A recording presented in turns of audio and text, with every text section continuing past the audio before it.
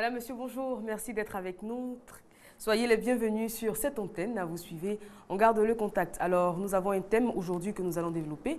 Mais bien avant, nous avons des invités de la direction commerciale et marketing qui ont des messages à vous faire passer. On démarre tout de suite avec Monsieur Guy Pacom Soumian. Bonjour. Bonjour. Bienvenue. Merci. Alors, vous êtes là pour nous parler de la soirée Open Day. C'est exact. Euh, belle soirée en perspective qui aura lieu euh, le samedi 28 décembre du côté l'espace Triangle. Voilà, c'est à la Riviera Palmeraie. En tout cas, juste euh, vous acquitter d'un droit de participation de 10 000 francs votre ticket, qui vous donne droit à un buffet à gogo, un buffet à volonté, euh, champagne. En tout cas, on, vous permet euh, de vivre une belle et bonne ambiance avec un DJ au platine, en, en l'occurrence Stéphanie Newmack, Stéphanie Newmack DJ. Et puis, euh, on aura un défilé de mode avec euh, Paul Ledongo, qui est sur ce plateau avec moi, et ses mannequins. Euh, Paul va présenter sa collection Splendid, Splendid Lens, Voilà. Splendid Lens. Et elle est arrivée de France spécialement pour, cet événement. Voilà. Mhm. Donc, buffet, bar volonté, ambiance nightclub, jeux, rencontres, échanges. Franchement, belle soirée en tout cas. 10 000 francs CFA seulement. Ticket disponible. Il n'en reste pas assez. Il faut se dépêcher pour euh, passer d'intenses et d'agréables moments en notre compagnie pour ces fêtes de fin d'année. Je pense qu'un seul rendez-vous, c'est Open Days. Open Days euh, samedi 28 décembre à 21h du côté de l'espace Triangle. Très bien. Alors, euh, Monsieur Soumir, on va arracher deux mots à la styliste, donc. Bonjour. Bonjour Eva. Soyez la bienvenue. Merci. Alors, qu'est-ce que vous promettez pour cet événement?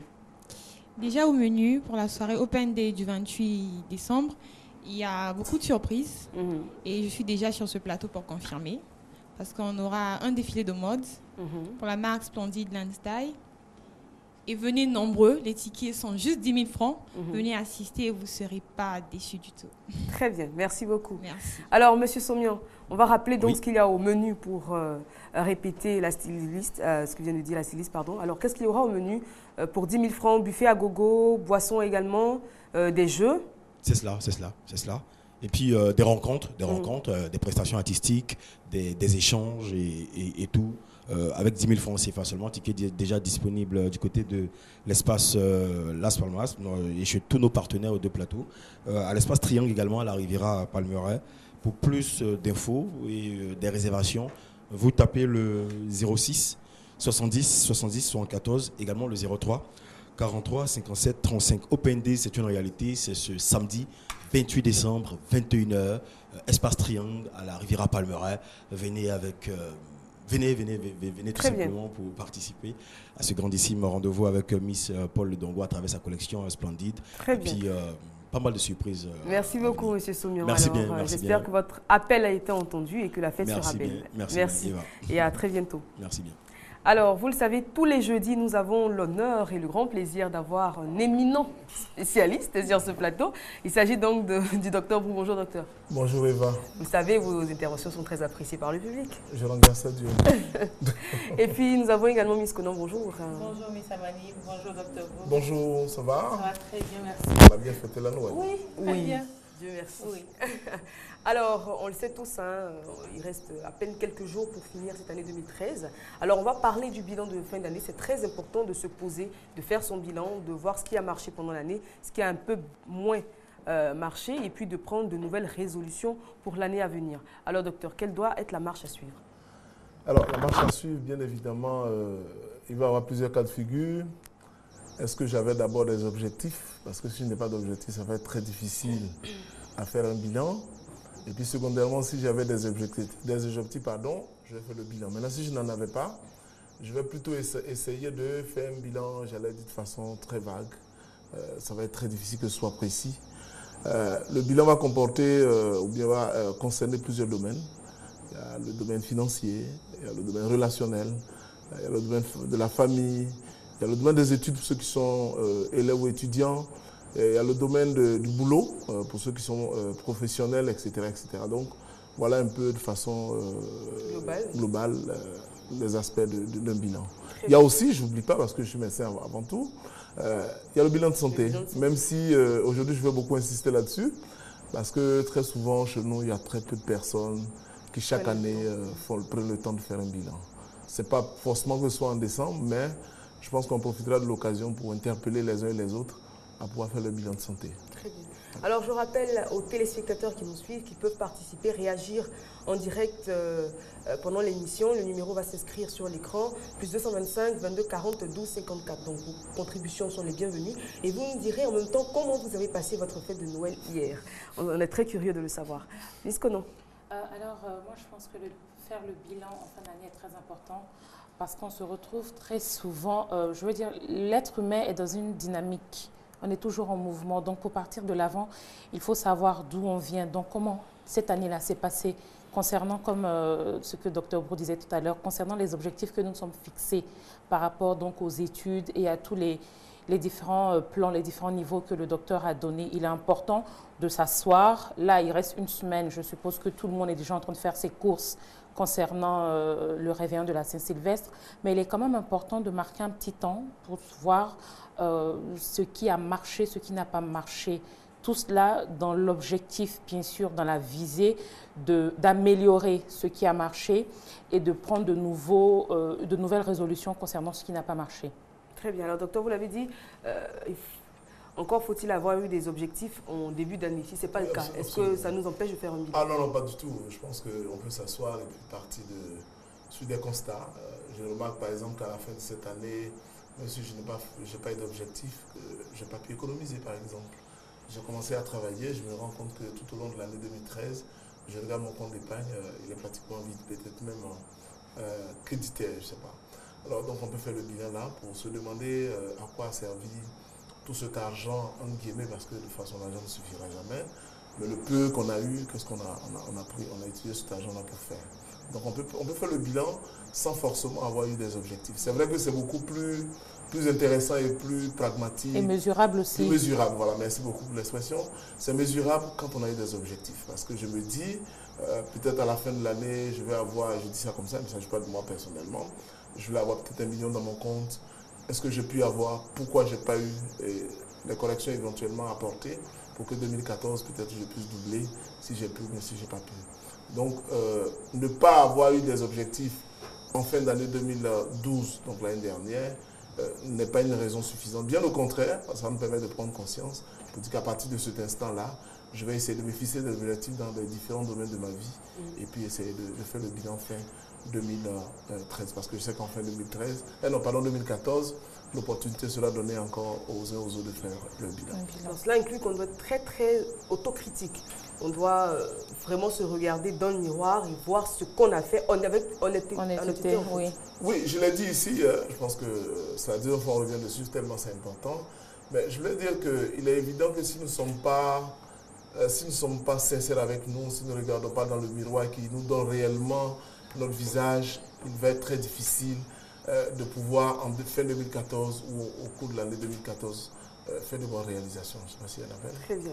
Euh, Miss Kono, Oui, il est important, il est, selon moi, il est très important quand même de pouvoir s'arrêter un temps soit peu pour faire le bilan. Comme Dr Brou le disait tout à l'heure, on revient quand même dessus parce que on estime que euh, une vie, on évolue en fait, on ne reste pas statique, on évolue. Donc, on se donne des rêves, des, objectifs, on se donne une certaine vision pour sa vie. Pour sa vie, souvent, c'est c'est plus simple quand on est tout seul, mais quand, on a une famille, quand on a des gens comme ça à prendre en compte, il est important quand même de s'asseoir et de se dire, pour l'année prochaine, pour l'année 2014, voilà ce que je compte faire et voilà ce que je veux faire de mon mieux. Très bien. Alors, nous avons des invités de la direction commerciale et marketing qui sont encore présents. On les recevra tout au, tout au long de cette émission. Donc, nous avons Destmo, euh, l'incontournable, et Kanté Faro. Ils sont installés. Bonjour, messieurs. Oui, bonjour. Euh, nous sommes sur ce plateau pour inviter nos amis, d'abord les managers et inviter la population ivoirienne à venir euh, soutenir un jeune réalisateur. D'abord, tu étais manager, aujourd'hui réalisateur. Il a réalisé un film et il faut soutenir ce monsieur-là parce que franchement, c'est pas facile. Surtout qu'on sait que le milieu, il y a tellement de choses. Donc aujourd'hui, ici, ce tableau pour inviter les jeunes managers, les artistes à soutenir Desmond aujourd'hui. Je pense bien qu'il va vous donner tout à l'heure le programme euh, des passages de ces films-là à Sokosé. Et là, moi, je suis là pour dire que ce 28-là, à 16h, il y aura un passage où euh, le parrain est Jijika, je mm. Donc je pense bien que les autres artistes auraient dû faire autant pour soutenir Desmo parce qu'il faut dire c'est un manager, producteur d'artistes. de plusieurs artistes en Côte d'Ivoire. Donc il faut soutenir aujourd'hui ce monsieur-là. Très bien. Alors, on va parler du film, puisque c'est, je pense, le film La Star. Le, le film se nomme Les arnaqueurs du net. C'est bien ça? C'est ça, Eva. Voilà, ça fait depuis le 7 décembre euh, que ce film-là est à l'affiche à Sokosé. Aujourd'hui, nous sommes très heureux, très contents de voir que les Ivoiriens ont renoué avec le cinéma.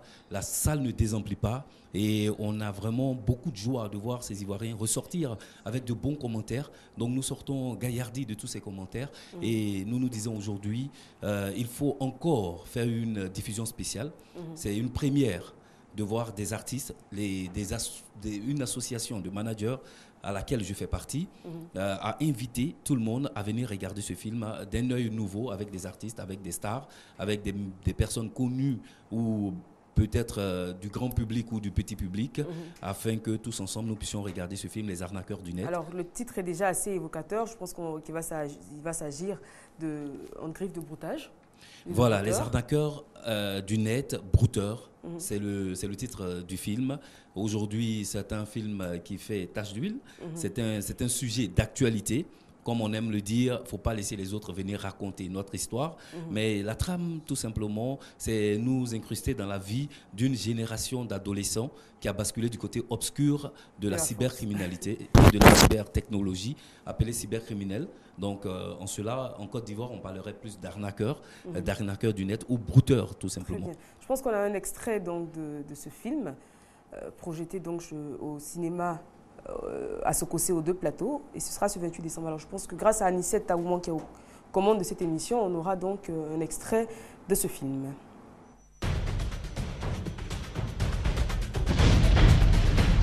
On y va chercher la dette coloniale. Il dit fait pas broutage. Faut le laisser comme ça. Tiens, moi je fais pas amour. Hein. Ils ont réussi à m'escroquer jusqu'à 30 000 euros. Silence. J'ai dit sortez la phase. Tous les jours, à partir du samedi 7 décembre à 18h, au cinéma La Fontaine, Sokosé, deux plateaux. Un film réalisé par Desmo, incontournable. Voilà, il donne envie de le voir ce film. Merci. Alors pour finir, qu'est-ce qu'on dira Desmo? Voilà, nous invitons encore le grand public à, venir à cette euh, projection spéciale avec les artistes, avec les hommes de médias. C'est pour le 28, une diffusion, 16h30. Mais déjà, il y a toujours diffusion à la salle depuis le 7 décembre. Euh, nous sommes à l'affiche.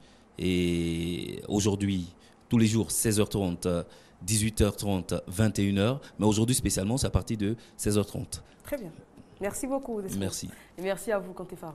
Merci d'être passé. Miss Conan, on parle donc de, bilan de fin d'année. Je rappelle aux téléspectateurs que c'est le thème de notre émission aujourd'hui, faire son bilan en cette fin d'année. Et je rappelle que vous pouvez participer. Le numéro va s'inscrire dans quelques instants. Alors, avec le docteur, on, parlait donc d'objectifs fixés. Ici, ce n'est pas le cas.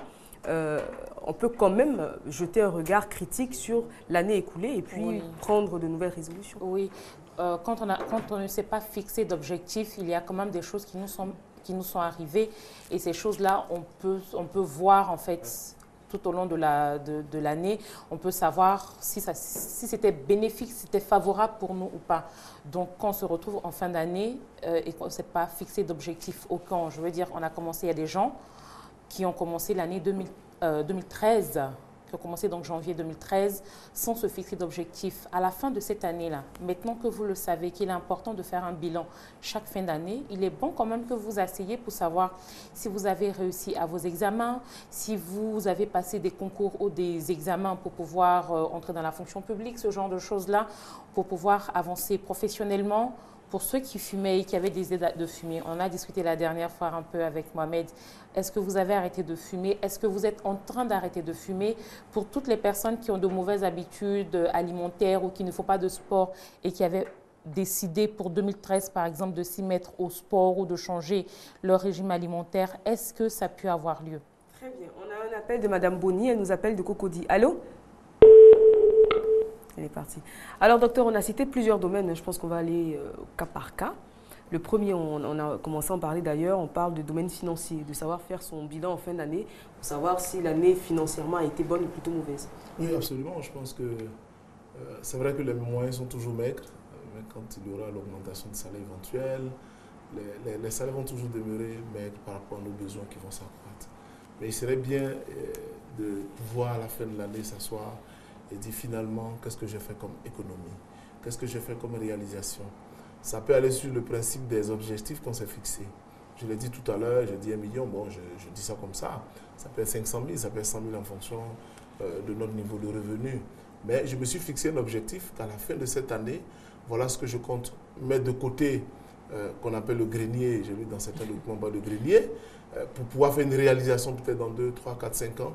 Est-ce que j'ai pu, la première année, économiser les 100 000, les 200 000 ou même les 50 000 mm. Si je n'ai pas pu, quelles ont été les raisons? Pourquoi je n'ai pas pu? Pour que je puisse corriger tout au long de l'année 2014. Il peut aussi s'agir du fait que j'ai atteint l'objectif, peut-être même que j'ai dépassé. Mais là aussi, il faut que je me demande pourquoi. Euh, qu'est-ce que j'ai pu mettre en, action comme moyen pour pouvoir atteindre et aller au-delà? Parce que les entreprises font les bilans en fin d'année. Quelquefois, ils ont des chiffres excédentaires. Mm. Euh, c'est vrai, le chiffre est positif. On dit aujourd'hui le taux de croissance, etc., est à tel pourcent. Donc, c'est possible que, en même temps, qu'on ne puisse pas euh, atteindre l'objectif, mais c'est possible en contrepartie qu'on puisse atteindre et même aller au-delà de nos, de nos objectifs. Il est bien de s'asseoir, de savoir pourquoi. Alors, donc, le domaine financier, je crois que c'est le domaine qui est le nez de tout. Mhm. Euh, c'est source de conflits à la maison, c'est source de conflits dans nos grandes familles, c'est source de conflits dans nos relations de tous les jours. Et je pense qu'il faut mettre un accent particulier sur, euh, ce, ce, Parle toujours de finances, hein, on peut se rendre compte qu'on a été un peu trop dépensier dans l'année. Tout à fait. Euh, le bilan, euh, ce que je voulais ajouter par rapport à ce que le docteur Beau vient de dire, c'est que le bilan n'a pas pour objectif de nous déprécier. Parce que certaines personnes pourraient penser qu'après avoir fait euh, le bilan financier donc de leur année, ils se rendent compte qu'ils doivent. D'accord? Le bilan n'est pas là pour. Parce que moi, pour moi, hein, les gens ont peur de faire un bilan pour ne pas voir leurs lacunes, pour ne pas voir leurs faiblesses, pour ne pas voir en fait qu'ils ne peuvent pas faire certaines choses. Parce que quand on se décide de faire un bilan, de construire une maison dans cinq ans et que pour cela, on a décidé en amont de commencer à économiser en 2013, en janvier 2013, on a peur en décembre 2013 de faire un bilan pour parce qu'on a peur de ne pas être rentré dans nos fonds par rapport aux objectifs qu'on s'est fixés. Le bilan euh, de fin d'année n'est pas là pour ça. Le bilan, au contraire, est là pour faire ressortir, pour faire donc réjaillir tout ce qui, comme le docteur le disait, est bon ou pas bon. Quand on se rend compte qu'à la fin de l'année 2013, on n'a pas pu rentrer, on n'a pas pu euh, respecter les objectifs qu'on s'était fixés, ben, ça veut dire qu'il y a toute une organisation, il y a toute une manière de penser qu'il est bon de repenser. Il y a des choses qui ne marchent pas. Et il faut, le bilan est important parce qu'il nous permet de revenir sur notre stratégie mise en place, donc sur les investissements qu'on fait, sur les choix euh, qu'on fait par rapport aux dépenses de la maison, par rapport aux écoles des enfants, par rapport à toutes ces choses-là. Le bilan nous permet de vérifier, de voir réellement ce qui est bon, ce qui ne l'est pas. Très bien. Monsieur Allé Bruno nous appelle de Port-Bouy. Allô? Oui, allô? Monsieur Allé, bonjour. Bonjour, madame. Merci d'être avec nous. On vous écoute. Monsieur Allé Oui, je suis là. Oui, nous parlons de bilan de fin d'année. Alors, euh, on vous écoute ou alors vous voulez nous dire comment vous avez passé votre réveillon hier? Monsieur Allé Allô? Je pense que Monsieur Allé s'en est allé. Docteur. Je voudrais effectivement euh, féliciter ceux même qui ont un bilan négatif. Ah oui je voulais les féliciter. Je vous dis pourquoi. Vous savez, économiser n'est pas chose facile puisque nous sommes au domaine financier. Moi, j'ai parcouru pas mal de documents, euh, des livres que j'ai lus, des économistes. Apprendre à épargner n'est pas chose facile, surtout dans les conditions euh, en Afrique, euh, avec toutes les charges de, de, la famille africaine, comme on en a souvent parlé ici. Mais avoir le courage donc de faire le bilan, c'est déjà faire preuve de maturité. Même s'il est négatif, cela va nous permettre, bien évidemment, de nous asseoir et de tirer les leçons. Comme Miss Conan l'a dit, euh, il ne s'agit pas de, forcément faire un bilan qui va être positif. En matière d'économie, je ne suis pas économiste, mais j'ai parcouru quand même quelques documents pour le premier niveau, parce que les grands niveaux, je ne, je ne sais pas. Euh, pour le premier niveau du commun des mortels, il est, il est bien de savoir qu'apprendre à mettre de l'argent de côté, c'est une des choses les plus difficiles. C'est très difficile. Parce que quelquefois, on n'est pas réaliste dans la façon de vouloir économiser. Euh, donc, le fait de faire le bilan et de, de savoir que c'est négatif va nous permettre de tirer les leçons. Est-ce qu'en décidant d'économiser, de, par exemple, 100 000 francs, je dis ça comme ça par mois, est-ce que c'était réaliste? Est-ce que c'est raisonnable? est-ce que raisonnable par rapport à mon revenu? Donc au début, nous tous, vous savez, quand on commence à travailler, on rêve beaucoup. Hein? On se dit, oui, quand je vais travailler, que je vais avoir 200 000 par mois, je vais économiser 150 000. Et puis bon, mais après, vous vous rendez compte qu'à la fin de l'année, que même économiser 10 000 francs, ce n'est pas très évident. Donc c'est déjà bien de le faire. C'est vraiment bien de le faire. Ne pas le faire, c'est dangereux parce qu'on va, on continuer euh, dans, dans l'ignorance, on va continuer dans les erreurs, dans les fautes. Mais le fait d'une première année, j'ai eu mon bilan, il est négatif, j'ai tiré les leçons, j'essaie d'apporter des corrections. Une deuxième année, il est même encore négatif. La troisième année, je sais que quand je commence à pouvoir véritablement économiser, je suis sûr que je vais pouvoir y arriver. Parce que pour arriver à économiser, il y a beaucoup de situations à surmonter. Il y a beaucoup de cas de figure à sur- à surmonter. Oui, on y va. Pascaline nous appelle de Koumassi Ramblay. Allô? Oui, allô, bonjour Eva. Oui, bonjour, mademoiselle Pascaline. Bonjour. On vous écoute. Bon, au fait, par rapport au 25 juin, ça s'est bien passé. J'avais la famille auprès de moi. D'accord. Bon, chez moi au salon, ça s'est- c'était un peu tout peu euh. C'était un peu triste. Bon, il n'y avait pas assez de clients. Vous À êtes coiffeuse? travailler comme l'année dernière. Vous êtes coiffeuse? Oui, je suis coiffeuse. D'accord, ok. Donc il n'y a pas eu d'affluence cette année? Oui, il n'y a pas assez de clients, quoi. Il y a pas, ça n'a pas donné. C'était un peu triste. D'accord. Mais sinon, à, à- à à la maison, tout le, monde, tout le monde se porte bien. Vous avez bien fêté en famille. Oui, j'ai bien ça en famille. Je pense que c'est le plus important. Les clientes vont venir. D'accord, merci. Merci beaucoup, Miss Pascaline. Merci pour votre appel. Et je viendrai me coiffer chez vous. Alors, docteur. Donc je voudrais, je voudrais vraiment insister sur le fait que faire le bilan ici n'est pas forcément... Si on arrive à un bilan positif, ok, Dieu merci. Mais le fait que le bilan soit négatif ne doit pas nous décourager. Bien au contraire. En tout cas, quand vous allez lire tous ceux qui ont des livres, de tous ceux qui ont créé des entreprises aujourd'hui qui font le tour du monde, on en parle un peu partout, je lis des grandes firmes, mais je vous assure que c'est parti de façon ardue, de façon très pénible. Et puis au bout de quelques années, euh, ces personnes-là sont arrivées à être de grands hommes d'affaires qu'on envie d'ailleurs. Tout à fait. Et à cela, je pourrais ajouter, si tu me permets, qu'un bilan négatif pourrait nous permettre de mieux nous connaître, de mieux connaître nos atouts aussi. Parce que, comme le, doct- comme le doc- docteur Brou le disait tout à l'heure, en faisant un bilan et en se disant j'épargne 100 000 francs, on a l'impression qu'on que- qu'on est capable de le faire. Et puis, on se rend compte que- qu'on est dépensier. On se rend compte qu'on est boulimique euh, du shopping, on peut pas, voilà, on peut, on peut mieux, app- on peut apprendre à mieux se connaître, à découvrir certaines choses en nous, et le, bi- le bilan va nous permettre de développer nos atouts afin de mieux le faire. Monsieur Dibi nous appelle de Boaké. Allô? Oui, bonjour madame. Bonjour, monsieur Dibi. Oui. Alors, comment s'est passée la fête à Boaké? Oh, elle s'est passée très bien. Dieu merci. Puisque j'étais à l'église. D'accord. Voilà, pour moi, la fête de Noël, euh, c'est une fête religieuse. Elle n'est pas commerciale pour moi. Donc, euh, j'étais à l'église. euh, C'était le Merci à. Dieu. Voilà, et puis bon. Après ça, euh, nous avons pratiquement veillé à 5 heures, je suis rentré. Donc, euh, voici comment j'ai fait la fête. Très bien. Alors, pour en venir au thème du jour, le bilan de fin d'année, est-ce que vous avez pris le temps de faire votre bilan? Oui, oui, pour moi, le bilan il a été positif. Il a été positif Félicitations. pour moi. Donc, je rends gloire à Dieu en cela. Très bien. Merci Voilà. beaucoup. Très bonne journée. à vous. Donc, très bonne émission à vous. Merci. Allez, au revoir. Au revoir, monsieur. Euh, bonne journée encore. Alors, euh, on parlait donc de dépenses. hein. J'aimerais Mhm. qu'on qu'on y vienne parce qu'on se rend compte que- on peut se rendre compte en faisant le bilan financier qu'on a été un peu trop dépensier, voire trop gentil. Parce que bien souvent, on dépense, mais pas pour nous-mêmes. Il faut apprendre également à dire non. Et on va déboucher donc sur le bilan euh, en ce qui concerne les relations humaines. Oui, c'est pour ça que je voulais, avant de revenir aux relations humaines, quand on fait le bilan, il faut être au cœur du bilan soi-même. Il faut être l'élément central du bilan. Euh, Parce que souvent, euh, moi, je ne partage pas totalement le fait que quelqu'un vienne dire c'est à cause des autres, je n'ai pas pu économiser, c'est à cause de Quadio, c'est à cause de Brou, c'est à cause d'Eva que je n'ai pas pu économiser. C'est vrai, peut-être, je leur ai donné, mais ils ne m'ont pas obligé, ou bien à la limite, ils ne m'ont pas coupé le bras, ils ne sont pas allés dans mon compte pour prendre. Parce que pour économiser, il faut avoir du caractère. Oui, c'est ça. Et pour économiser, il faut avoir du caractère. Euh, les relations sociales sont des choses que nous, nous, en- nous en parlons fréquemment ici. Euh, sans les autres, c'est difficile de vivre. C'est difficile, je dirais même impossible. Il est, il est, il est, il est impossible euh, de me prendre. Oui, on est là. Mademoiselle Chantal nous appelle de Yopougon. Allô? Oui, allô, bonjour madame. Oui, bonjour Mademoiselle Chantal, vous allez bien? Oui, je vais bien, joyeux Noël à vous. Merci à vous également. Alors justement, comment vous avez passé la fête de Noël? Bon, cette année-là, c'était pas bon du tout, franchement. Qu'est-ce qui s'est passé Même une cave, même, même que, qui n'a pas marché du tout. C'était moi, c'était vide. En fait, il n'y a pas eu de clients cette année-là. Et puis, j'ai fait des projets par rapport à un magasin de mai, tout ça.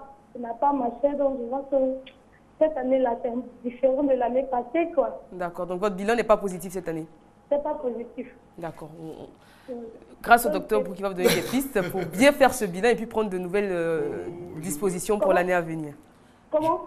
On vous donnera des pistes pour prendre de nouvelles dispositions pour l'année à venir pour que votre bilan so- 2014 soit positif. Ok. ok. Merci. Très bonne journée. Oh, merci, au revoir. Je voudrais dire à cette demoiselle qui appelle que si elle a envie, c'est déjà bon. Parce que l'année prochaine, ça n'a pas marché cette année. L'année prochaine, tant qu'on a envie, on espère toujours. Euh, donc quand on fait les affaires, euh, cette année, ça peut ne pas marcher. Mais si on vit, on peut toujours espérer mieux. Parce que si on ne vit pas, qu'on est malade, bon, évidemment, euh, c'est encore difficile. Donc pour revenir aux relations sociales, euh, c'est un des aspects auxquels nous accordons beaucoup, beaucoup d'intérêt, mais il faut le faire de façon sage, de façon intelligente. Je ne suis pas d'accord qu'on puisse chaque fois entendre se plaindre des autres, oui, c'est à cause de mes amis, j'ai fait ceci, à cause de... On on n'est pas des enfants. Quand on a dépassé un certain âge, je pense qu'il faut assumer pleinement ce qu'on fait. Donc on peut aider, et on doit aider, parce que chacun d'entre nous a été à un moment donné assisté. Ça, donc c'est indiscutable. D'une manière ou d'une autre, ça peut être nos parents biologiques, papa et maman, qui ont un peu peut-être plus de moyens et nous ont aidés. Il y a d'autres qui ont eu l'aide de cousins ou d'une tierce personne qui n'est pas de la famille. Ça fait partie de la vie africaine.